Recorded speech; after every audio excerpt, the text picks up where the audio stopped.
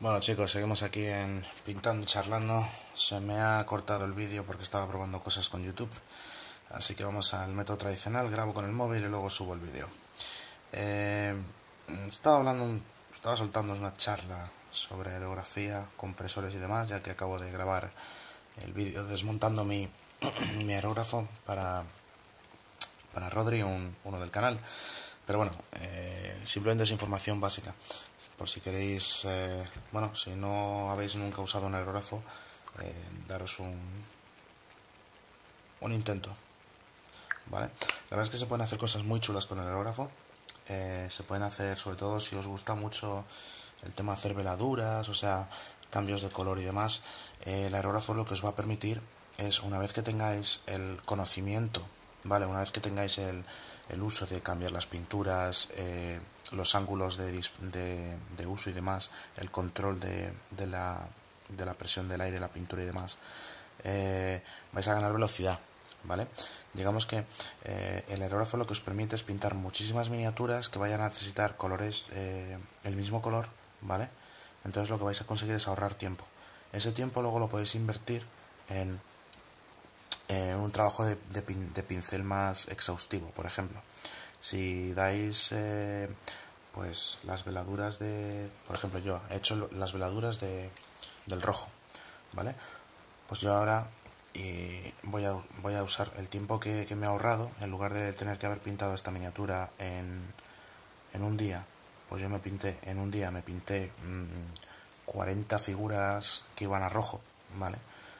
Con lo cual he ahorrado muchísimo tiempo pues ahora es cuando estoy invirtiendo ese tiempo pues en pintar el metalizado más tranquilamente, luego daré sus tintas, le daré sus luces personales, le haré algún eh, daños de batalla, ¿vale? Digamos que eh, hoy, por ejemplo, hoy si terminara de pintar los metalizados y lo dejara con, con, las tintas para la noche, pues yo ya hoy habrían llegado esto al nivel eh, top estándar que yo tengo para mí, ¿vale?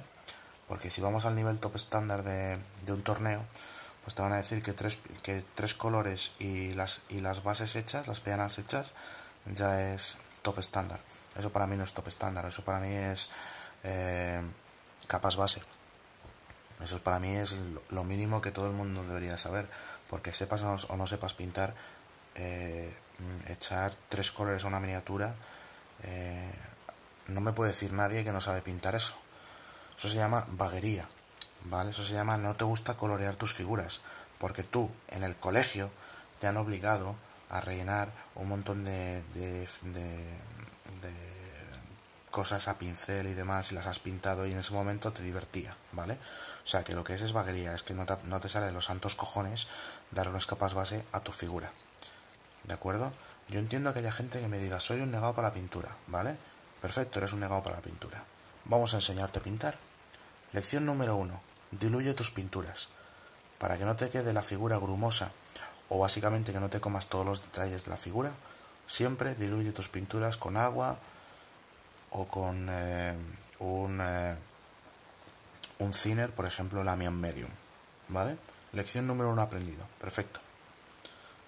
¿Qué consigues diluyendo las pinturas? Lo primero, que la pintura te dure más, porque usas menos pintura. Lo segundo, eh, que tengas más facilidad con el pincel de cubrir todos los eh, recovecos de la armadura, de la figura en, en, general. ¿Qué pasa cuando diluyes la pintura? Pues que en lugar de una capa, a lo mejor vas a tener que dar dos capas, ¿vale? Sobre todo si son capas base. ¿De acuerdo? Si es la primera, si es la, la figura imprimada y quieres darle eh, la primera capa de pintura, pues vas a tener que pasarlo dos veces. ¿Qué haces para no aburrirte pasándolo dos veces? Pues lo primero te, te buscas algo que te entretenga, música, algunas series. Cuando te buscas series o películas, procura buscarte algo que puedas apartar tu mirada de ello, ¿vale? Si pones una película y te quedas embobado, lo único vas a conseguir que se te seque la pintura en el pincel y te toque luego limpiarlo con más fuerza, ¿vale? Y si son metalizadas, ¿vale? Pues créeme que eh, lo único que haces es fastidiar el pincel. ¿Vale? Bien. A todos nos fastidia andar capas base, a todos nos fastidia. A mí me encantaría que las, que las figuras estas hicieran así, que estuvieran pintadas. pero entonces no sería esto Games Workshop. Sería, por ejemplo, X-Wing, que te las compras ya pintadas, ¿vale? Y aún así hay muchísima gente que coge y las repinta, o les da capas base, o sea, perdón, o les da luces, o les da tintas, o las, las hace más personales, ¿vale? Esto es lo bueno que tiene este hobby. Si tú eres un asiduo jugador, tú juegas partidas todas las semanas, créeme que tú personalizas tu ejército, ¿vale? Por mucho que tú cojas y digas, voy a copiar la lista de fulanito, aunque tú copies la lista de fulanito, porque, bueno, pues porque estés empezando y no sepas exactamente qué es lo mejor, o simplemente te has eh, leído unos cuantos foros y básicamente cuatro personas coinciden, y cuando cuatro personas coinciden, pues a lo mejor sí que tienen razón, ¿sabes? Y es la forma más, eh, bueno, mm, más mejor de... Esto está mal dicho, pero bueno. La lista más eficiente, ¿vale? De figuras en cuanto a calidad, precio, punto, puntuación. Ahí ya me he equivocado. Vale. Pero aún así, aunque estés copiando la lista, luego la partida la juegas tú. ¿Vale? Tú no puedes jugar una, partida copiándote de alguien, porque básicamente el contrario no es no va a copiar al, al otro jugador, ¿de acuerdo? Así que eh, llegará un momento en el que esa lista será tuya, será personal. ¿Por qué? Porque el otro jugador seguramente ha evolucionado la lista, ¿de acuerdo? Solo tienes que hacer. Cojo el ejemplo, por ejemplo, del de, ganador estadounidense de los últimos cuatro torneos eh, nacionales. Que el tío iba con. con una, Death Star de, de, Space Wolves, ¿vale? De lobos espaciales. Y en los cuatro torneos la cambió. En el último torneo. Eh, ya eso era un, un tejemaneje. Eran lobos espaciales aliados con ángeles sangrientos, aliados con ángeles oscuros, aliados con cicatrices blancas o ultramarines o yo qué sé. Eso ya era un popurrí, un mix, ¿vale? Pues tú a lo mejor no tienes ni la capacidad económica ni las ganas de ir evolucionándolo así. Te quedas una lista que te gusta, ¿vale? O mm, siempre hay algunas miniaturas que vas a usarlas no importa la lista que sea. Pues esas miniaturas serían las primeras en las que deberías empezar a pensar, ya que se merecen un poco, yo que sé, el rango de veteranía de que llevan contigo ya carros y carretas. Y qué menos que darles una imprimación y unas capas base, ¿vale? Yo ahora mismo estoy dando capas base. Vale que he hecho un trabajo de aerografía, con lo cual el rojo que, que tiene la armadura tiene diferentes tonalidades, ¿de acuerdo? No se aprecia muy bien en cámara, porque está pegándole la luz, pero sí que puedo decir que tiene diferentes tonalidades. Aquí está muy oscuro y aquí ya está un rojo más, más sangre, ¿de acuerdo? Cuando le eche, eche aquí dorado y, y haga unas, unos perfilados con, con, tintas y demás, se verá diferente, ¿de acuerdo? Pero vamos, estos son capas base. Es verdad que la miniatura no, no luce como debería de lucir, pero luce mejor que en gris, en gris plástico, ¿de acuerdo? Así que a esto deberíamos de llegar todos sin problemas. Capas base. Aprender a pintar, coger el pincel y empezar a, a marcarlo todo. Que hay algunos lugares que, bueno, que tu, que tu pulso, lo que sea, bueno, vale, pues a ver, mmm, si a, ti no te importa, pues, pues no lo pintes de metal, no, no lo pintes de colores extras, por ejemplo. Yo que sé, en esta figura, por ejemplo. A ver, voy a poner el ejemplo, no sé si vais a poder verlo. A ver. ¿Veis todos los tubitos que hay dentro de la figura, vale? Si yo no me viera capaz de pintar esos tubitos, lo que puedo hacer es dar dos o tres tonalidades de una tinta, ¿vale? Para que se marquen bien los, huecos y los recovecos y luego usar una técnica de pincel seco, ¿de acuerdo? Para iluminar toda esa zona, un pincel seco muy suave y quieras que no, ya se nota que me he trabajado un poco la figura, ¿vale? Sin haber tenido que llegar como un chino a todos los recovecos del asunto. ¿De acuerdo? Así que, eh, como, como quería decir, no hay excusas, chicos. Vale, es simplemente vaguería. Que yo entiendo que me lleguéis y me digáis que, bueno, que todas las técnicas y demás, que, que sois un poco negados para el asunto. Bueno, pues eso es lo que podemos practicar aquí o en cualquier otro canal de pintura. ¿Vale? Así que, si queréis que se expliquen algunas cosas, lo único, por favor, no me digáis que os haga metal, no metal, porque eh, lo he probado a hacer un par de veces y no, no me sale. Pero no me sale porque Todavía no llego a esos niveles de paciencia, ¿vale? Pero pintado normal, lo, lo, básico que todo, que todo jugador sabe hacer, o debería saber hacer, lo que básicamente yo he aprendido, ¿de acuerdo? Eso que sí que puedo enseñaros sin ningún problema. Em, cuando termine de pintar estas, mm, tengo intención de pintar un par de modelos de la Legión Negra, ¿vale? Y de los Amos de la Noche, que son mis siguientes legiones a, trabajar.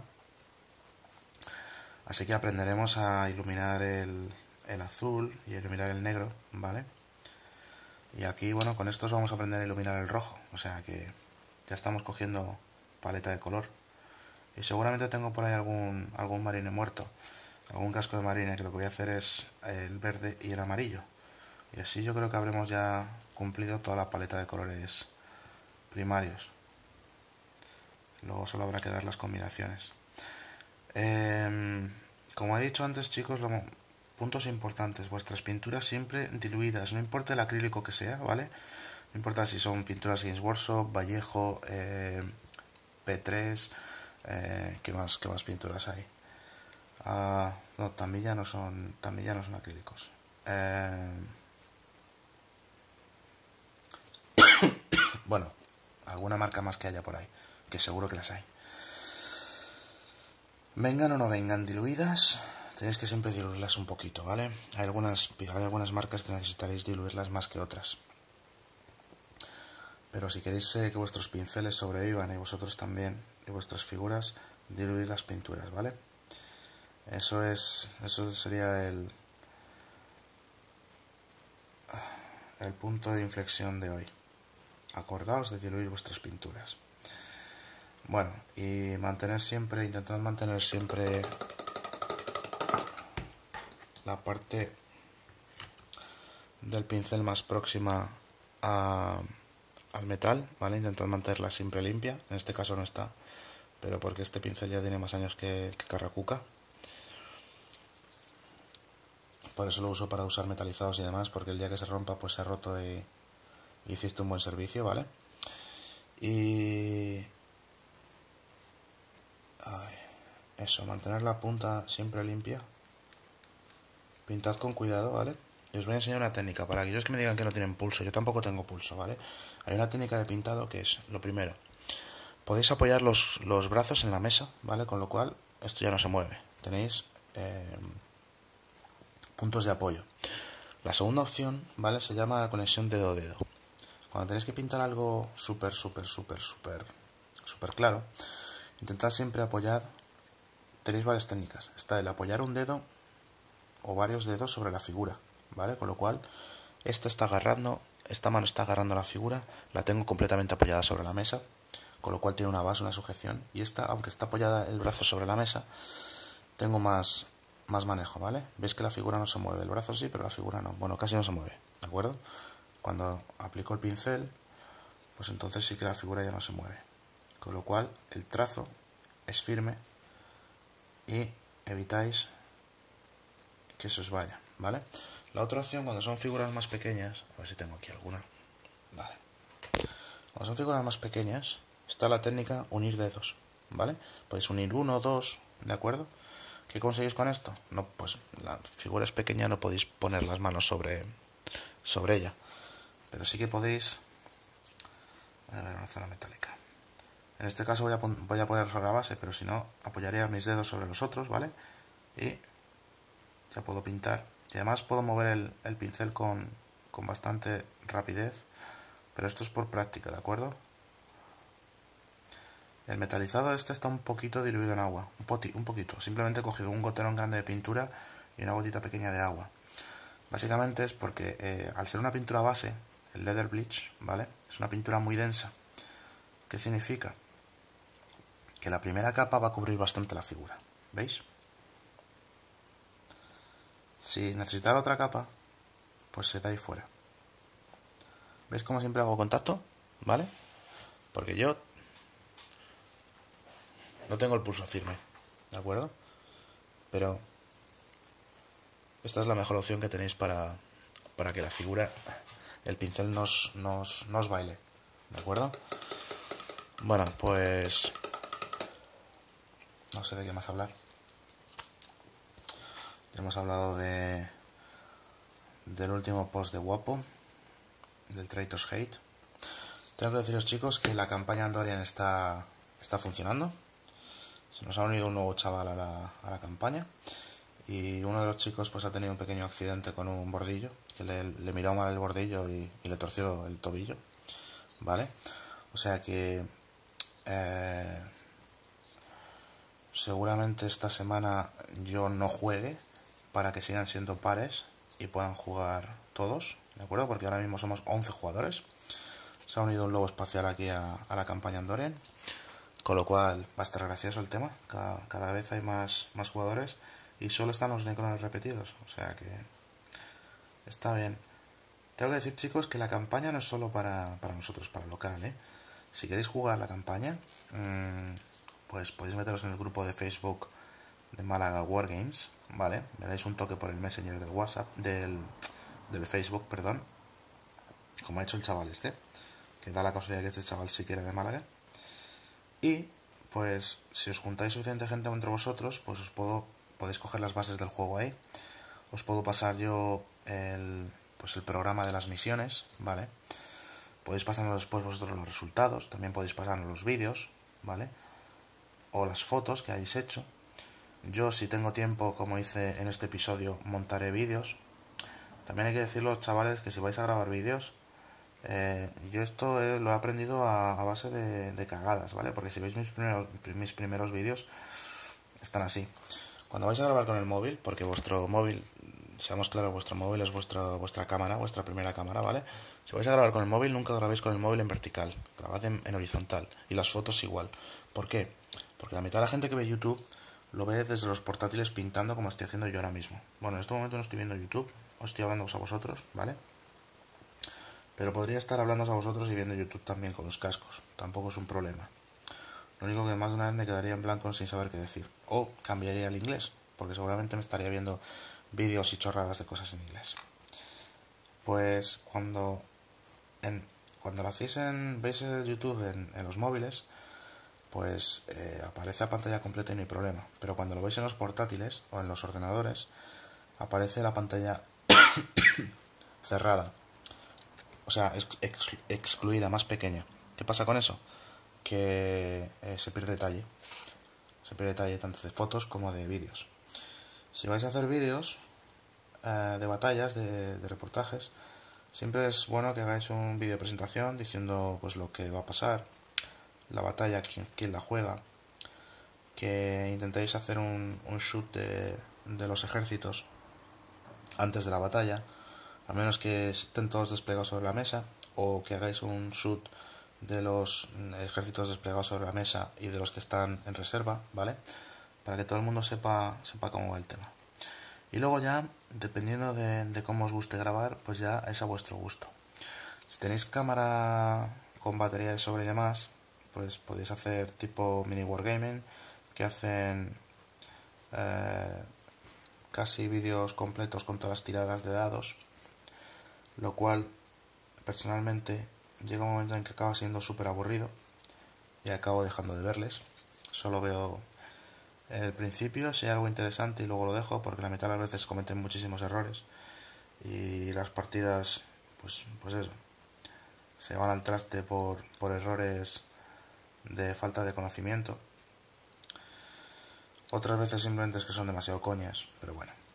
Los chavales, la verdad es que mm, el tema de producción y demás lo tienen muy bien, ¿sabes? Entonces merece la pena ver que ver los vídeos por, por, la producción que han hecho y demás y aprender cosas de ellos. Pero vamos, podrían respirar un poco hondo de vez en cuando y leerse mejor las cosas antes de, de iniciar a grabar. Pero bueno, luego tienen ya, para eso han creado su nueva sección de lo hemos hecho mal. Con eso te fuerzan a, hay mucha gente que simplemente se ve todos los vídeos para poder escribir, escribirles luego y tener sus 10 minutos de gloria en que les mencionan en YouTube. Pues nada, pues han encontrado otra forma de conseguir audiencia así, pues felicidades por ellos. Eh, una vez que habéis grabado, yo os aconsejaría que a menos que haya algo haya ocurrido algo importante, grabaréis las partidas pues por turnos de cada uno de los jugadores con el resumen, ¿vale? A menos que sean partidas muy, muy, muy, muy interesantes en las que de repente, pues, perdéis, yo que sé, 5 unidades en un turno. Pues entonces sí que yo haría un parón y grabaría en ese momento. Pues estamos en la fase de disparo del turno 3 del jugador X y ha pasado esto, que me han vaporizado 6 unidades. ¿Por qué? Porque si no, luego al final del turno a lo mejor has perdido 6 unidades en combate cuerpo a cuerpo y 6 unidades en, en disparo y se te olvida mencionar todo eso en el vídeo. Y luego, pues está un poco perdido el que ve el vídeo, ¿vale? Porque son vídeos a lo mejor de que contéis una partida de 8000 puntos en 15 minutos, le dedicáis 40 segundos a cada, a cada partida, a cada turno, perdón. No, casi no enfocáis, no hacéis zoom ni nada para ver el detalle de las figuras, el cómo están dispuestas, no sé, darle un poquito más de vidilla al juego. Pero bueno, a ver, yo estos son consejos, ¿eh? Cada uno luego que haga lo que les dé la gana.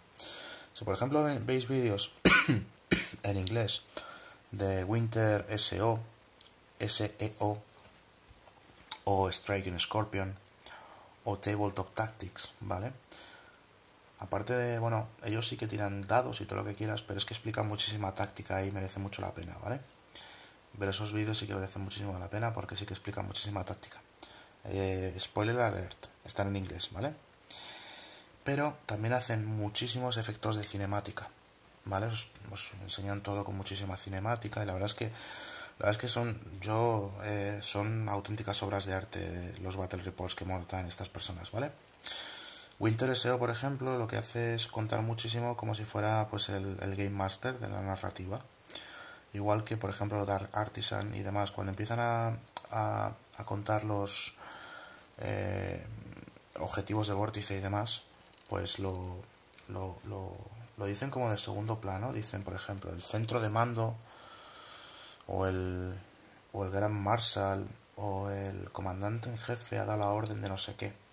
No te han llegado y te han dicho, pues sí, eh, la, ha salido el objetivo, la carta número 12, que es la de controlar el objetivo 3. No, te llegan y te dicen, pues el... El crucero de batalla, el, comandante en jefe ha dado la orden de que es necesario tomar el objetivo 3 para... Bueno, por lo que sea, ¿vale? Está gracioso ese, esos puntos. Está gracioso ese tema. Vale. Pues... Chicos, ya no sé qué más contaros, de verdad. Como no tengo activado chat ni nada todavía, pues es un, es un monólogo yo y. Yo y Eloy. Este va a ser Eloy. Eloy, di hola. Hola. Es un monólogo entre yo y Eloy y la cámara que me escucha. Pero yo creo que he grabado bastante para. para daros una buena. una buena tacada. Creo además que me ha dado un error de subida el otro archivo, así que va a ser un cachondeo. Bueno, chavales, nos despedimos desde aquí, desde Málaga, y esperamos que tengáis una buena noche. Happy Wargaming.